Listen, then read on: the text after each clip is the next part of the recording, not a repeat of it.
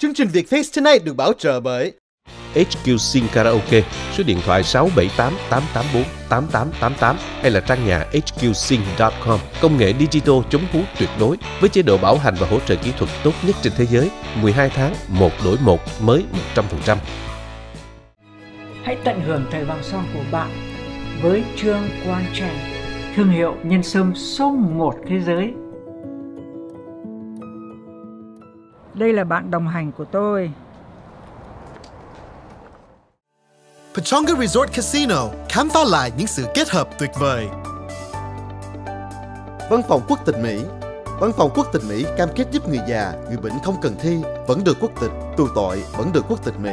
Văn phòng quốc tịch Mỹ nằm bên trong chợ Sài Gòn Supermarket, điện thoại 714 756 0946.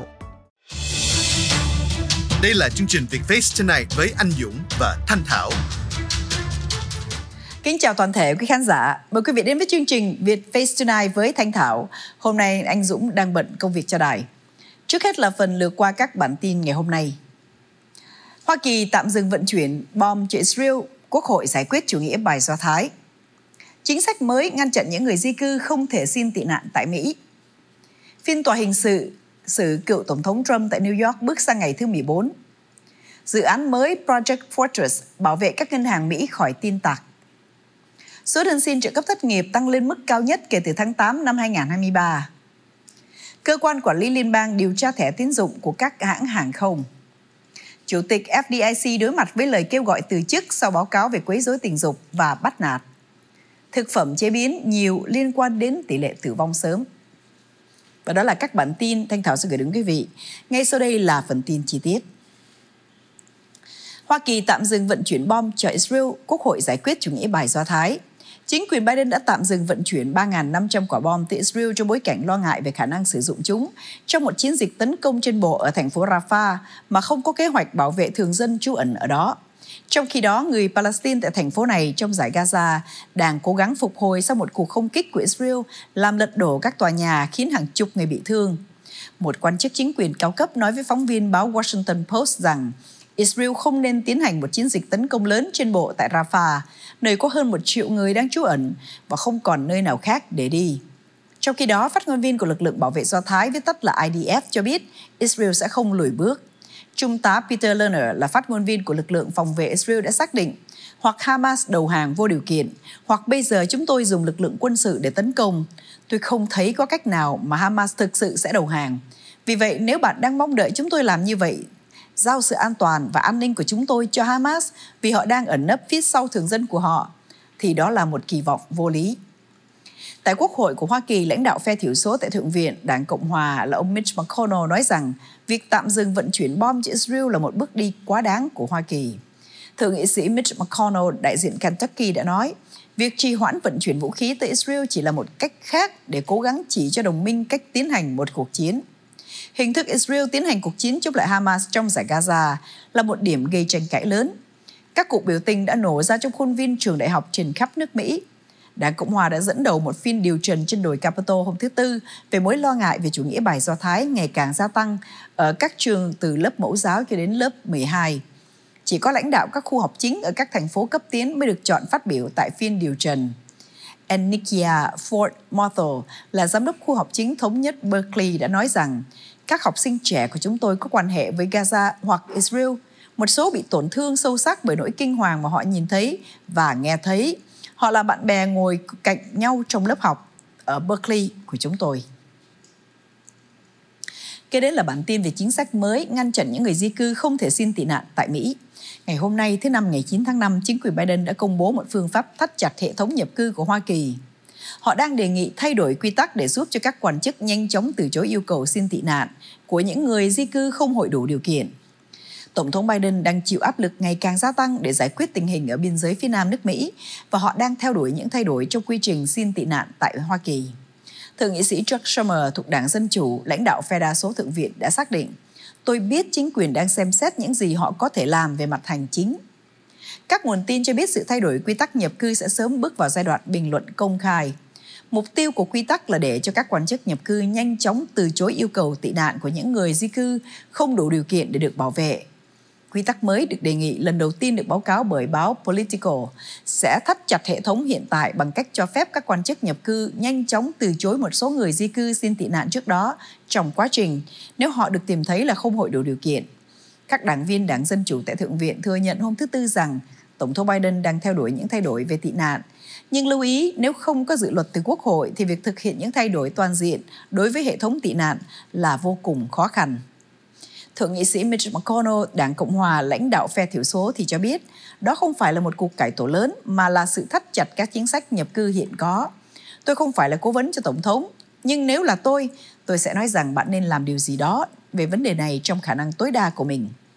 Tổng thống Joe Biden đang chịu áp lực phải thực hiện sắc lệnh hành pháp về an ninh biên giới.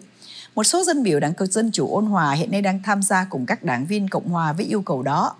Thượng nghị sĩ Mitch McConnell nói, chính quyền này phải làm được nhiều điều hơn nữa chứ không chỉ đổ lỗi cho Quốc hội vì đã không thông qua luật biên giới an ninh.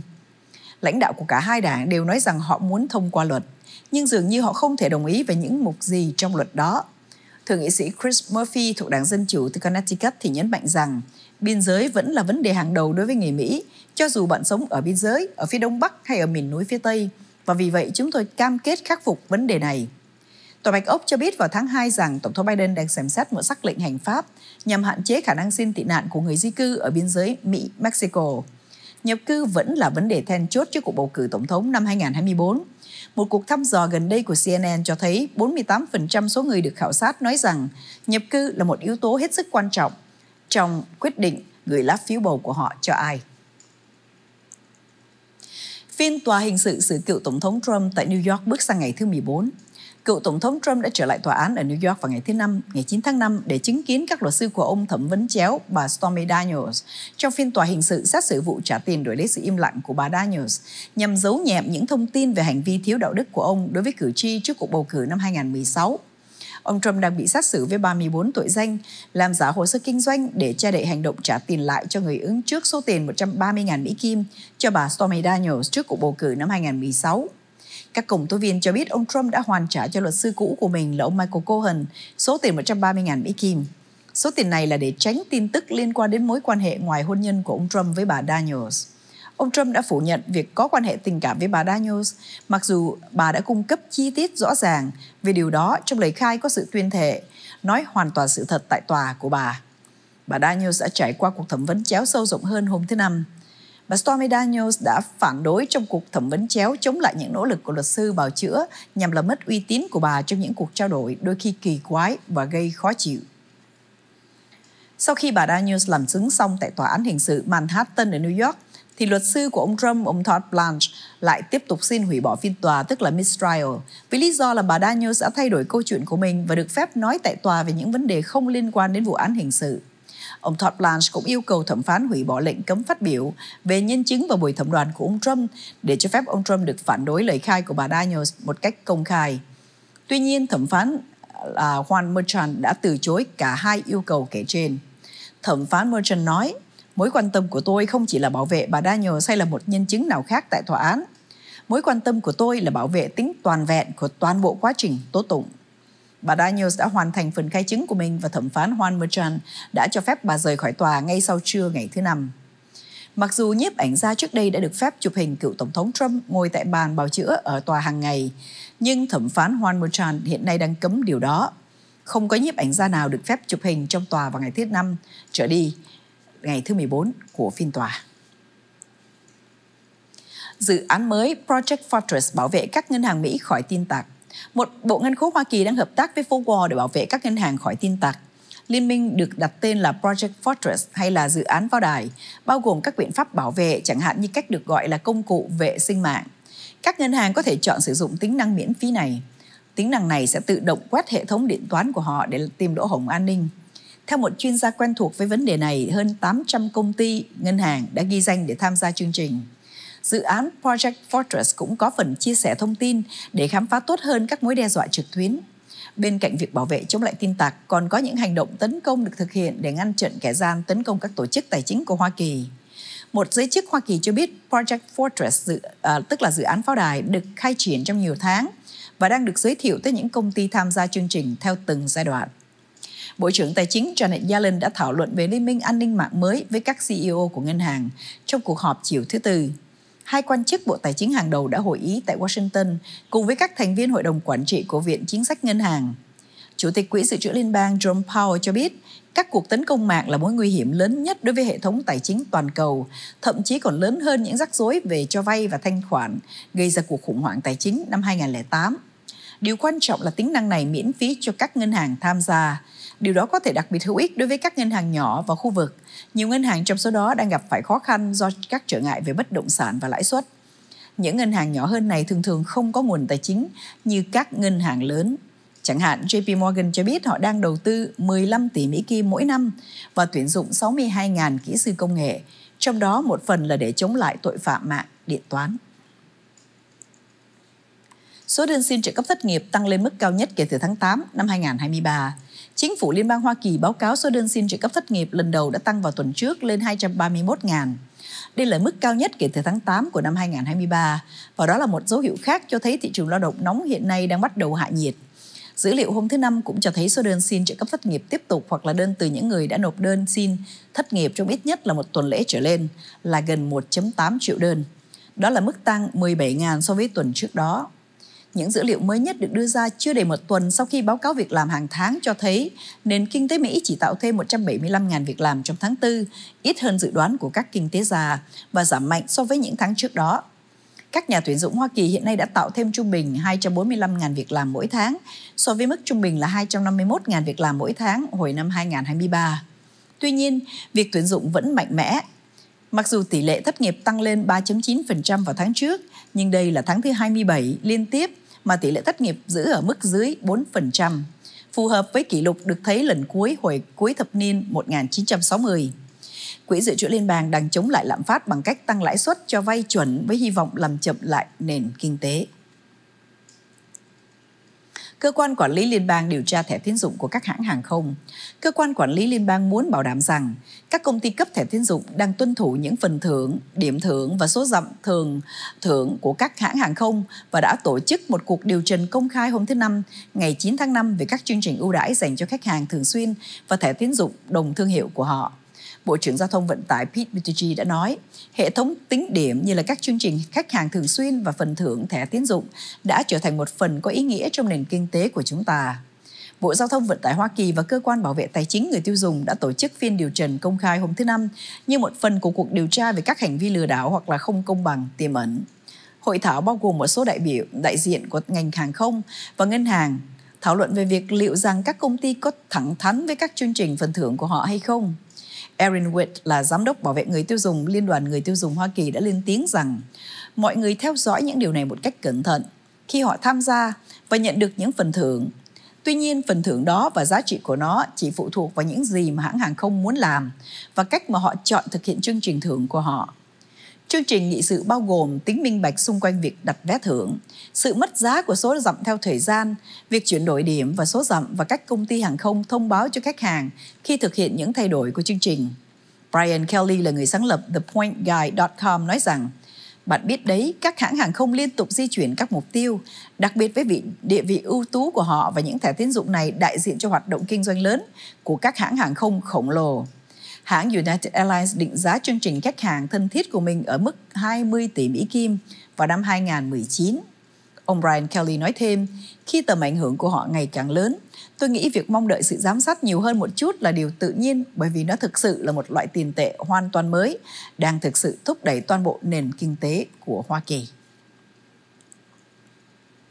Chủ tịch FDIC đối mặt với lời kêu gọi từ chức sau báo cáo về quấy rối tình dục và bắt nạt. Chủ tịch Tập đoàn Bảo hiểm Tiền gửi Liên bang tức là FDIC là ông Martin Grunberg đang phải đối mặt với lời kêu gọi từ chức của các nhà lập pháp Hoa Kỳ. Điều này xảy ra sau khi một bản báo cáo gay gắt dài 234 trang được công bố hôm thứ Ba về tình trạng quấy rối, phân biệt đối xử và bắt nạt tình dục tràn lan tại cơ quan FDIC. Bản báo cáo do cơ quan FDIC ủy quyền đã xác nhận những phát hiện trong một cuộc điều tra đăng trên báo The Wall Street Journal vào tháng 11 năm ngoái, đã tiết lộ một nền văn hóa có vấn đề lâu đời. Bản báo cáo này dựa trên các cuộc phỏng vấn với hơn 500 nhân viên và kết luận không thấy chỉ, chỉ riêng ông Grunberg phải chịu trách nhiệm về các vấn đề này. Bản báo cáo cũng ghi lại một số trường hợp mà ông Greenberg đã kích cấp dưới, đặc biệt khi nhận được tin xấu hoặc là truyền đạt những quan điểm mà ông không đồng tình. Điều đó khiến cho các nhân viên trì hoãn việc cung cấp tin tức mà họ sợ sẽ khiến cho ông khó chịu. Báo cáo cho biết thêm tính khí của ông Greenberg có thể cản trở khả năng thiết lập niềm tin và sự tự tin của ông ấy trong việc lãnh đạo sự thay đổi văn hóa có ý nghĩa. Phần lớn các nhà lập pháp kêu gọi ông Greenberg từ chức là đảng viên Đảng Cộng Hòa. Ông Greenberg là một đảng viên Đảng Dân Chủ được Tổng thống Joe Biden bổ nhiệm.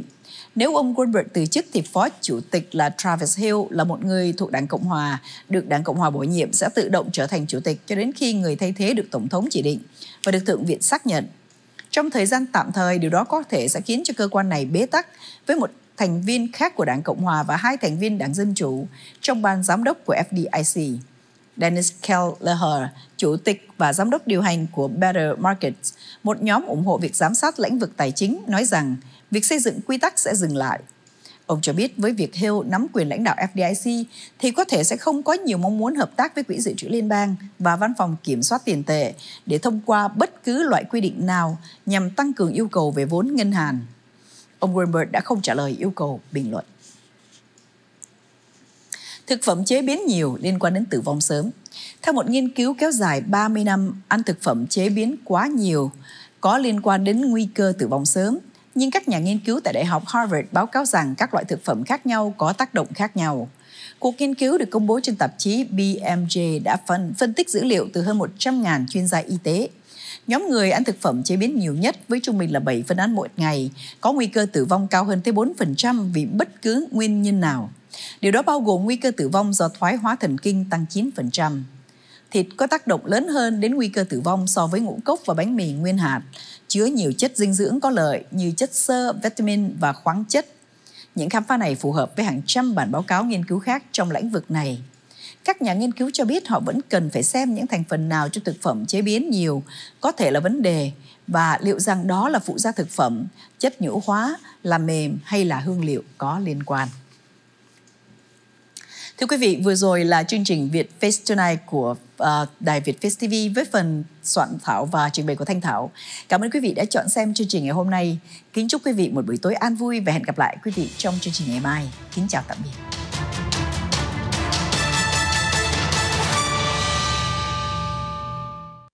Chương trình Việt Face Tonight được bảo trợ bởi HQ Sing Karaoke, số điện thoại 678 884 8888 hay là trang nhà hqsing.com. Công nghệ digital chống hú tuyệt đối với chế độ bảo hành và hỗ trợ kỹ thuật tốt nhất trên thế giới. 12 tháng, một đổi một, mới 100%.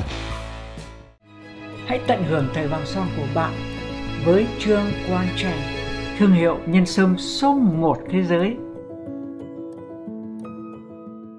Đây là bạn đồng hành của tôi,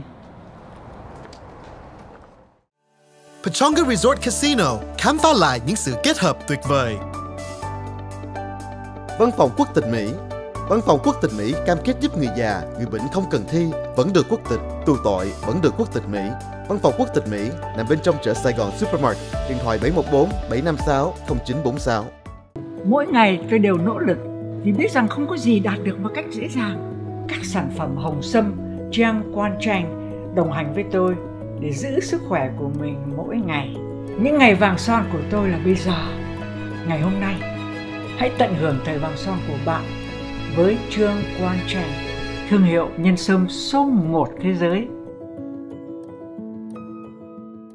Đây là bạn đồng hành của tôi.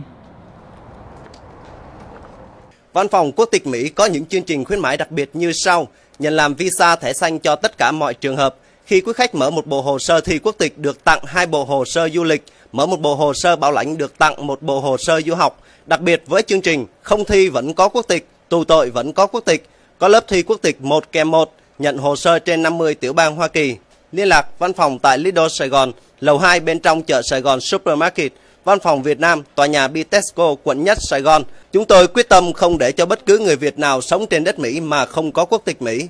Văn phòng quốc tịch Mỹ trân trọng kính mời. Để có một dàn karaoke ưng ý về chế độ bảo hành và phục vụ tốt nhất, xin vui lòng liên hệ HQ Sing Karaoke, số điện thoại 678 884 8888 hay là trang nhà hqsing.com với chế độ bảo hành và hỗ trợ kỹ thuật tốt nhất trên thế giới, 12 tháng, một đổi một, mới 100%, hỗ trợ kỹ thuật 24 trên 7, trọn đời. Công nghệ digital chống hú tuyệt đối, nhớ được nhiều cấu hình phù hợp cho nhiều giọng hát khác nhau, phối ghép rất phù hợp với các loại loa Mỹ JBL, Bose, QSC.